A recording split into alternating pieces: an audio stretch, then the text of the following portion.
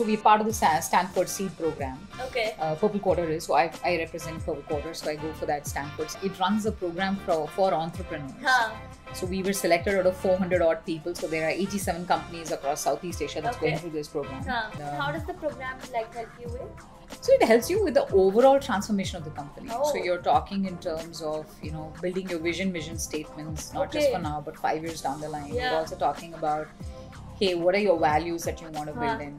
Where do you see yourself growing? Okay. Stanford Seed actually helps you bring in a lot more clarity, Okay. and then you also evaluate out of these five ideas, how many are doable, and when should we execute it, right? Which is very meaningful for a business yeah.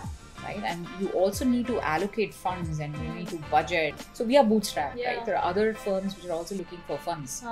So how do you put yourself in front of investors? Okay. How do you go about making sure that your financials are in order? How do you look at creating your HR systems in order, your Hmm. OKRs, your milestones? And for the benefit of the audience, like what's the duration of this It's a year, it's a one year program.